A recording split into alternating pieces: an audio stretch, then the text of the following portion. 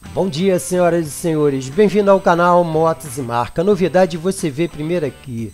Mais um lançamento para conta do canal MM. O scooter da Vogue SR150C Pro. Coloca a mãozinha aí, produção.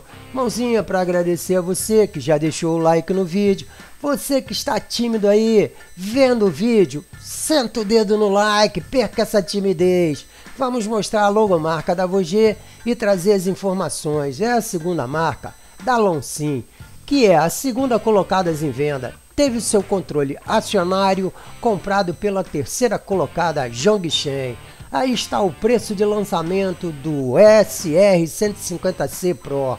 Era 13.980 yuan, um desconto de 1.000 yuan por causa do lançamento no salão, cai para 12.980 yuan. Ele possui um sistema de recuperação caso haja ingresso em qualquer parte do território chinês, o OS 3.0. Esse sistema é pago à parte.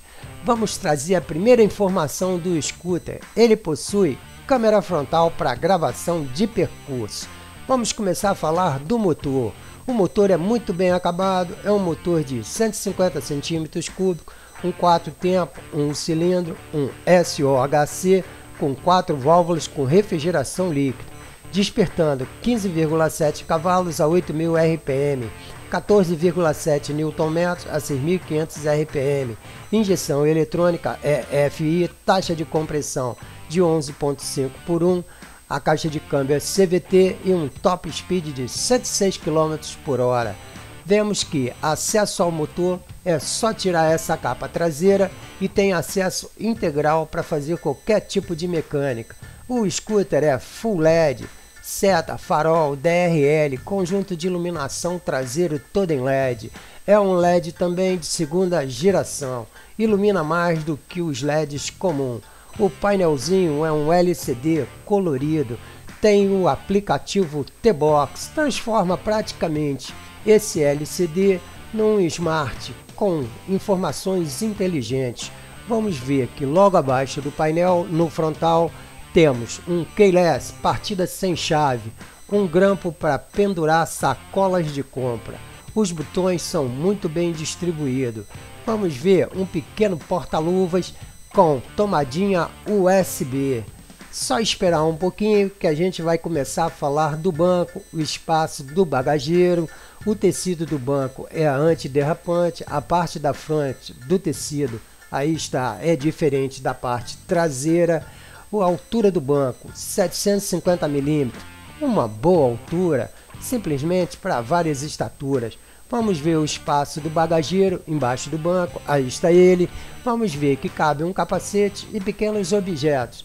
Não é nada muito grande porque é o natural de todos os scooters o bagageiro no máximo cabia dois capacetes. Aí está a informação que eu trouxe, o capacete. Vamos esperar um pouquinho para começar a entrar na suspensão dianteira, que é uma Seriane. Esperar só um pouquinho. Aí está ela, senhoras e senhores. Suspensão dianteira Seriane, pneu dianteiro 120 70 12, calçado numa roda de liga leve, freio a disco com ABS TCS. Vamos para a suspensão traseira. São dois amortecedores convencionais, pneu traseiro 130 70 12, calçado numa roda de liga leve, freio a disco também com ABS TCS.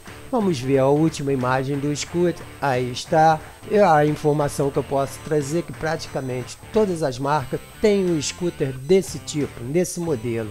É o Fusca dos scooters na China. Pedidos finais. Quem gostou, deixa um like, deixa um comentário. Se inscrever no canal ajuda muito. Compartilhar com um amigo mais ainda. É um pulinho lá na aba comunidade. Está repleta de lançamento e curiosidade. E do fundinho do coração. Obrigado por assistir os nossos vídeos.